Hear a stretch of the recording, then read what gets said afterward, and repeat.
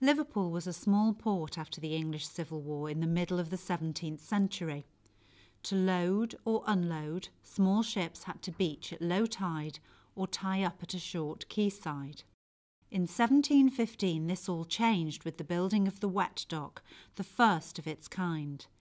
This meant that much larger ships could enter the dock at high tide and then load or unload while still afloat, even when it was a low tide outside. This transformed Liverpool's economy, making it a major international port. Liverpool has a long history of maritime science. In 1845, the Mersey Docks and Harbour Board set up an observatory at Waterloo Dock to provide weather, tides, and chronometer information to ships' captains. And in 1866, the observatory moved to Bidston. In 1919, Professor Joseph Proudman established the University of Liverpool's Tidal Institute, and 10 years later it relocated to join Bidston Observatory, with Proudman assuming responsibility. This was the start of the National Oceanography Centre as we know it today.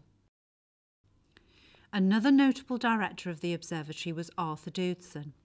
A major part of his work was the development of tide prediction machines, also known as Kelvin machines. These machines are a form of analogue computer. Around 33 were built worldwide, of which 10 are associated with Doodson. The machines were used for predicting the tides for a variety of purposes around the globe.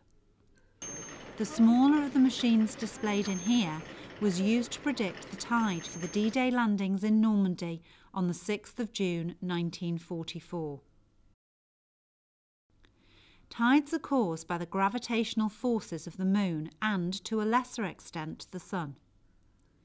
Each of the machine's dials is a different size and spins at a different speed.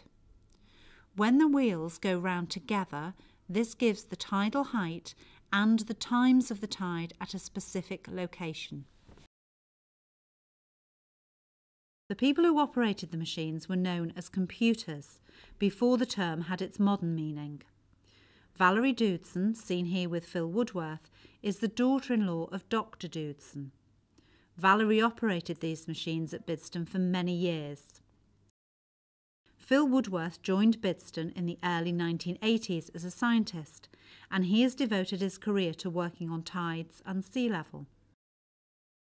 Our scientists continue to advance the measurement and monitoring of ocean tides, both at the coast and in the deep ocean.